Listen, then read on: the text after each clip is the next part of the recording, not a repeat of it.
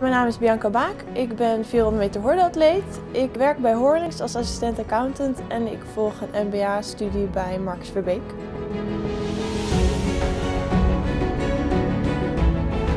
Mijn doelen zijn om de Olympische Spelen van Tokio te halen in 2020 en daar zo hoog mogelijke plaatsing te behalen.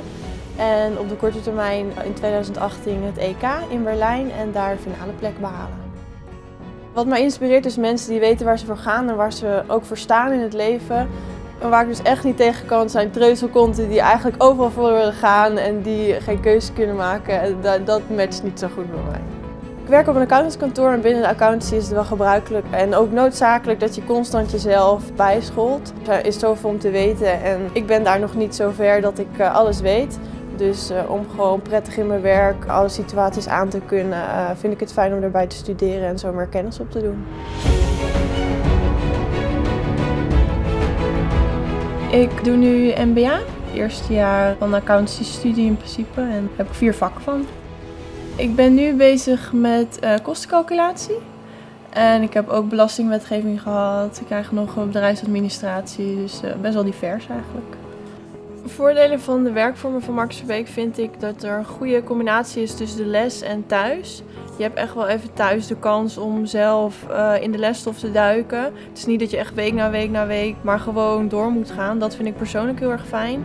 En dat je ook zelf je examen kan kiezen, je examendatum. Dus dan kan je zelf voor jezelf bepalen hoeveel tijd je nog nodig hebt om na alle stof uh, die je hebt gekregen in de lessen er nog in te duiken. En dan gewoon wanneer je jezelf er prettig bij voelt, kiezen van oké, nu doe ik mijn toets, nu ben ik er klaar voor, nu ga ik ervoor. En dat vind ik zelf heel erg prettig.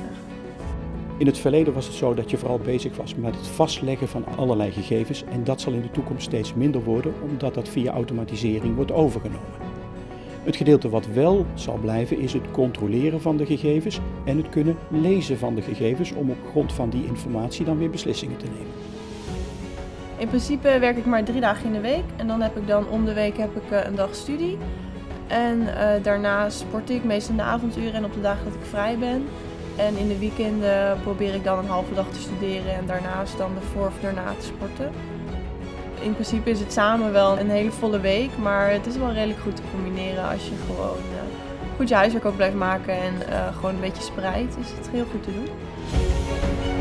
Ik werk bij Horlings, accountants en belastingadviseurs. Ik ben daar assistent accountant. Ik doe daar financiële administraties en rekeningen.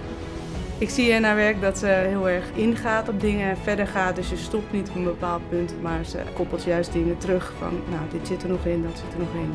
Moeten we nog iets mee doen. Het nut van de lesstof van Marcus Verbeek vind ik dat het heel erg past bij wat ik in de praktijk doe. Bijvoorbeeld uh, als ik administraties boek, dan uh, de boekingen dat doet het systeem. Het gaat allemaal automatisch. Maar de boekingen daarachter, ja, die zie je eigenlijk niet meer. Maar dat leer je dus wel in je studie. En uh, in sommige situaties is dat wel eens fijn dat je denkt, oh ja, zo werkt dat dus. Of als je bijvoorbeeld iets moet corrigeren, dat je bijvoorbeeld weet uh, wat je debit en credit moet boeken. Dat zijn dingetjes die ik door mijn studie wel iets scherper heb of juist gewoon helemaal heb geleerd. Dat zijn wel dingen die echt uh, heel goed toepasbaar zijn. Er is veel automatisering binnen accountancy ook. En iedereen zegt al heel lang dat accountancy dood is. Maar uiteindelijk moet er toch een mens denken en daarom denk ik dat accountancy altijd zal bestaan. Misschien niet in deze vorm, maar er zal altijd een mensenhand aan te pas moeten komen. Dus uh, is het zeker iets wat heel veel toekomst heeft.